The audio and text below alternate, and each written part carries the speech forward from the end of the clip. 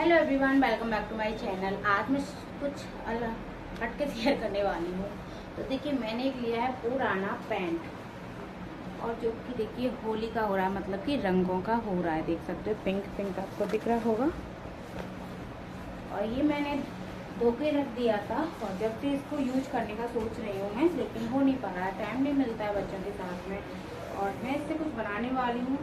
तो इससे मैं बहुत ही प्यारी सी चीज़ बनाऊँगी और बहुत ही यूजफुल और इसमें ना ही चैन की ज़रूरत है ना ही फॉर्म की ज़रूरत है और ना ही किसी प्लास्टिक बोरी की ज़रूरत है ना ही अस्तर की ज़रूरत है।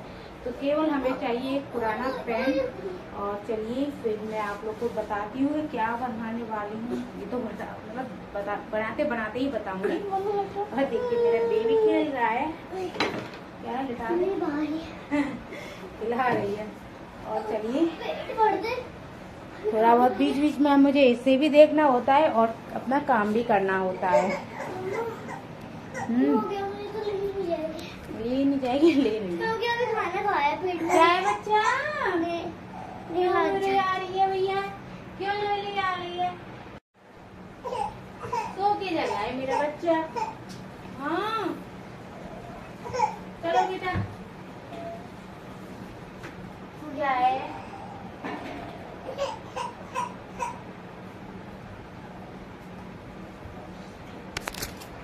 तो गाय जब मैं पहले से सेट कर देती हूँ, दूध वगैरह पिला देती हूँ और कुछ खाएगी, पिएगी तो वो देख लेती हूँ। तो दूध तो मैंने भर के रख लिया था क्योंकि ये जग गई थी, मैंने कहा इससे कि दो मिनट इससे नीचे घुमा ला, क्योंकि ये सुबह से आज गई नहीं तो इसका भी मन कर रहा था छोटी का। और मैं इसे पहले कुछ खिला पिला दूँ, जब अपना कुछ बनाऊँगी। और गाय मैंने अपनी बेबी को सुला दिया था और मैं इसको अब पैंट मैं से जो बनाने वाली थी, वो मैं अब बना रही हूँ और देखिए इसको कटिंग कटिंग कर रही हूँ। तो जो भी हमें बनाना होता है, वो सबसे पहले कटिंग ही करनी होती है। तो हमें दोनों पैरों को अलग अलग कर देना है। तो देखिए इसका जो ऊपर वाला हिस्सा था ना बहुत मोटा था तो मुझसे कटाई नहीं, एक तरफ़ का हिस्सा तो मैंने काट दिया, लेकिन दूसरा हिस्सा नहीं कटा। फिर मैंने नीचे का हिस्सा ही चाहिए था, हमें तो ऊपर का हिस्सा तो चाहिए नहीं था, क्योंकि हमारी, हम ऊपर का हिस्सा ले ही नहीं सकते हैं, क्योंकि हमारी जो मशीन है वो चलेगी नहीं मोटे वाले हिस्से पर तो इसीलिए हमें तो पतला पतला वाला हिस्सा चाहिए, इसके पैर वाले हिस्से को नीचे वाले। अब देखिए, लंबाई चौड़ाई में नाप रही नहीं हूँ, लेकिन जो सेफ़ सेफ़ कपड़ा है, इसमें सीधा सीधा कपड़ा मैं कट कर रही हूँ इसमें से। तो आपको भी कोई लंबाई चौड़ाई नापने की ज़रूरत नहीं, अगर आप लंबाई चौड़ाई नापना चाहते तो नाप सकते हो। लेकिन मैं इसको सेप में लाने के लिए से नाप रही थी थोड़ा सा। तो देखिए दोनों पैरों में से जितना भी कपड़ा निकला है, सारा ले लिया है मैंने। सीधा सीधा और देखिए, दोनों पैरों के कपड़े को इस तरीके से आपको जॉइंट कर देना है आपस में। और जॉइंट करने के बाद में ये हमारा पूरा एक पीस बड़ा साइज़ का बन के रेडी हो जाएगा और इसमें से आप डोरमेट भी बना सकते हो। बहुत ही प्यारा सा बने, बनता है हमारी जो मोटी मोटी जींस होती हैं उसमें से और हार्ड भी रहता है। तो ये बहुत मोटी जींस है तो इस पर जो मशीन है ना, वो भी अच्छे से नहीं चल पा रही थी, लेकिन मैंने फिर भी सिला इसमें डबल सिलाई लगाकर और देखिए, दोनों, तीनों साइड से आपको इस तरीके से सिल देना है। तो तीनों साइड से फिर मैंने सिलाई लगा दी थी इसमें। और अब जो नीचे कोने वाला पार्ट था, बंद वाला, उसमें हमें चार बाई चार का इस तरीके से निशान लगाना है और निशान लगाने के बाद में इस तरीके से डिब्बा बना लेना है।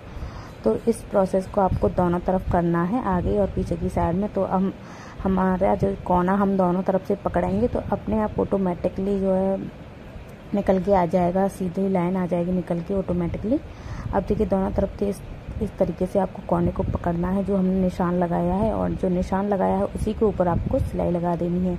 और ये हमारा बड़े साइज़ का स्टोरेज बैग बन के रेडी हो जाएगा। आप इसमें कोई भी सामान स्टोर करके रख सकते हो। अपने कपड़े पड़े हों, आपके भी हम पेस्ट पड़े रहते हैं। वो आप स्टोरेज करके रख सकते हो या फिर कुछ भी आप अपना घर में बहुत सारे आइटम होते हैं ऐसे जो हमारे यहाँ वेस्ट पड़े रहते हैं और हमें चाहिए होता है कुछ ऐसा कि हम उसमें रख सकें एक जगह तो मुझे इसकी बहुत ज़्यादा ज़रूरत थी तो मैंने इसको बनाया और आप लोग के साथ भी शेयर किया। अब देखिए इसको हमें सीधा कर लेना है और अगर आप के पास कोई भी कार्डबोर्ड वगैरह हो तो उसमें अंदर रख देना, जिससे कि ये थोड़ा सा सीधा रहेगा। तो मुझे यहाँ पर रख के और इसमें कपड़े वगैरह, जो मेरी कतरन वगैरह निकलती रहती है, उसके लिए चाहिए था ये स्टोरेज बैग तो गाइज़ देखा आप लोगों ने हमारा ये स्टोरेज देखिए बैग रेडी है और बहुत ही बड़े साइज़ का आप देख सकते हैं कितने सारे इसमें मैंने अपनी कतरन भरी हुई है, जो भी मैं सिलाई वगैरह करती हूँ, सारी इसी में मतलब इसमें भरती जाती हूँ, लेकिन देखिए पूरा खाली हो गया, इतने सारे कपड़े। इसमें आ गए हैं। पूरा खाली हो चुका है, आप देख सकते हो। तो देखिए, इतने सारे आप और भी अभी आ जाएँगे इसमें। तो ये कम स्पेस गिर रहा और ये ऊपर तक घेर रहा था।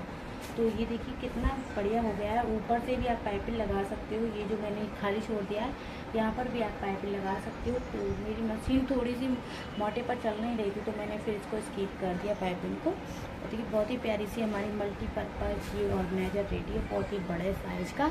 और आप भी इसी तरीके से अपना बना सकते हो। और देखिए, पीछे तक आ रहा है, देख सकते हो और गैस कमेंट करके ज़रूर बताना, ये वाला हमारा आइडिया आप लोगों को कैसा लगा लाइक करना शेयर करना और चैनल को सब्सक्राइब कर लेना। और अगर आप लोग को हमारा ये आइडिया पसंद आया तो प्लीज़ कमेंट करके ज़रूर बताना। Bye bye